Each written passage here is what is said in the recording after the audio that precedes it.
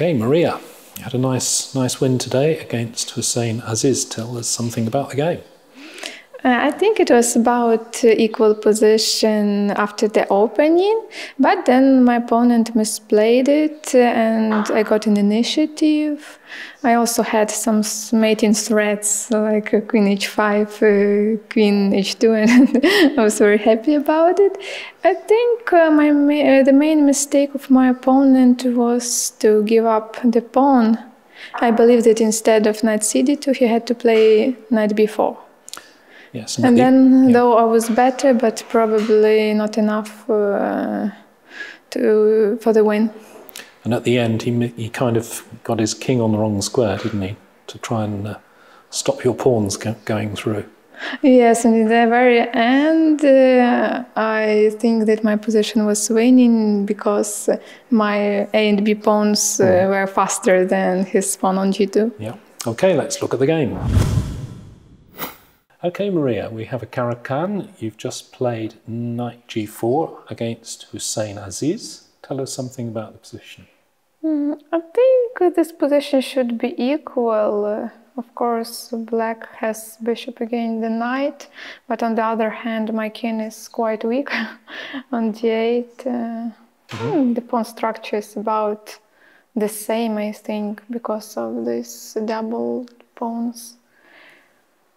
Yeah, so okay, about equal. I also considered knight bd2 here, and if I play queen b6, then probably queen d4, oh, and it's quite dangerous to take the pawn on b2 because of mm -hmm. the mm-hmm. king. I'm not sure. yeah, it looks risky, doesn't it? yes. Okay, uh, so uh, Hussein played knight d4. yeah. I was quite happy. I also considered queen g5 mm -hmm. with the idea queen h5 and mating threat on h2, but okay, possible white can defend with playing knight f3 and then knight h4. Yeah, okay. So you opted for to go on the queen side? Yes, at least some pin might be unpleasant. And knight a3. Knight a3, yeah. Yes, I think uh, seems a bit strange. in two or three moves uh, I already liked my position and yeah. I thought that it was me who put pressure. right, so he's trying to. I'm not quite sure what he's trying to do there. Uh, he tries to protect this square yeah. on e3, so I'm not able to invade on e3. But on the other hand, this e4, e4. square became weak. Yeah. So if the knight was on d2, it should have protected it. Yeah, can you... Yes, if let's say rook a1. Uh, rook e, e, yes. Yeah, rook e1. Instead of b3, then probably I would take. Mm -hmm. Take and take, take on b2, yes. Seems reasonable. I think it, it, shouldn't be dangerous for mm -hmm. black, and I can uh, retreat my get, queen. You can get back quickly, can't you, in that position? So you're not worried by that one. He played b3. He's worried about his b pawn. Yes, but this pawn becomes weak. A c3 pawn. Mm. Yes, and later on I managed to mm -hmm. attack this pawn. So rook e so you occupied e4, and he played rook f4 to challenge. And now I played queen g6 with queen similar g6. ideas to play for them mate. Yeah. And mm. doesn't do it that way. Yes, and so I played rook f e8, and I think it's better than to play queen h5 immediately. Mm -hmm. Because then, as I said in the beginning of the game, like knight f3, knight, h, knight h4, it was quite unpleasant for me. Mm -hmm. Now, of course, it's impossible to take because I play queen h5. Give mate, yeah. Yes, and then knight f3 and I am rook up. Mm -hmm. So knight f3. It was an interesting move, bishop f5, but unfortunately queen b5 and mm.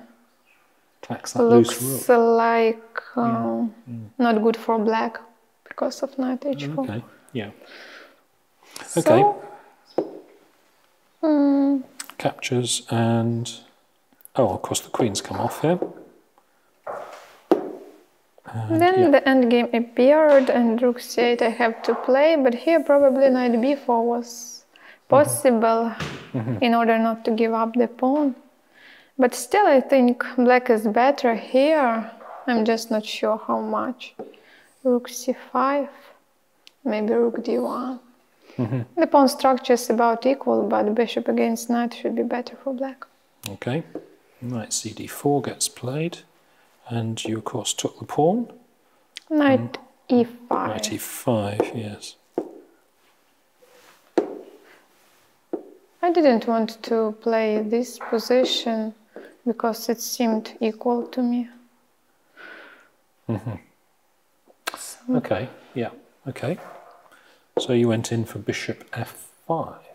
Yeah, it was a very brave decision to uh, go into rook endgame. but uh, Yeah. I think it's very unpleasant for white to defend there. Right, so all this material comes Yeah, off. looks like king h2 white has to play because if rook d1 immediately, then I have g3. Yeah, it's awkward, king isn't it? f1 and rook c2. So that's just to make sure it doesn't get Yeah, hemmed have, in on the back rank. I have to move my king closer Towards to the- the center. Mhm. So the next moves are logical. We repeated the moves. uh, And I played king f5. Yes, rook e5 is forced. And here when I played rook Nice. c1, unfortunately I missed uh, the idea like uh, rook d5. I Don't know how Ah. it's possible that I missed this idea because I only consider rook d7, or sorry, rook Yeah. d7 and king h4. And I was quite happy to play it. Like g3 is forced, and this position I thought uh, Yeah, was comfortable for me, but after rook d5, I realized Yeah. that uh, it wasn't that good for me. wasn't that great, was it? Yeah. So, So I had to put my king on f5. F, yeah. Yes, on f5. Yeah. Oh, sorry, yeah, f5, yeah. And I'm not sure why my opponent decided to change this g4 pawn on h2, because I think it's better for him to play rook d7. And if he manages to change uh, at least Yeah. one pawn, then it should be easier to give checks and to force, uh, Force the the perpetual Yeah. check, probably. Instead of which he played king g3. Yes, but here after rook c2, I think I was happy. Yes. Still, it was maybe possible to play rook d7 here, right? I suppose so, yeah. Mm-hmm. No, but I mean, this this can't be good for for white, simply because my king is uh, too close to this b3 pawn. Yeah. Yeah.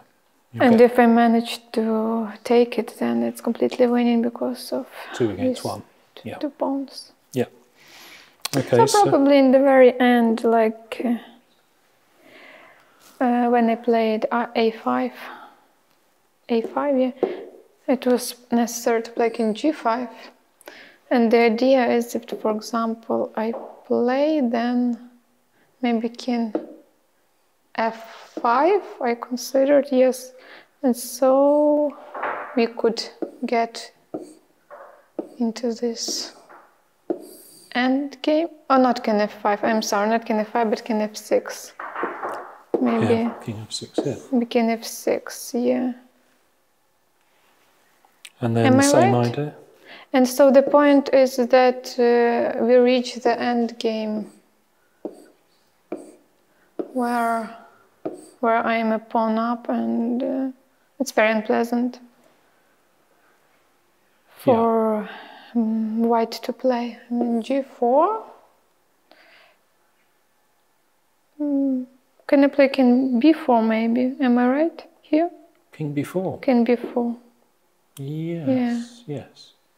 So probably What happens? Yeah, I, I actually didn't even see this because I considered that uh, uh, G4. I considered that in case I play this, I mean, I was pretty much confident in this position because I give many checks and Yeah. it's extremely hard to defend. And I knew that I was very close to win.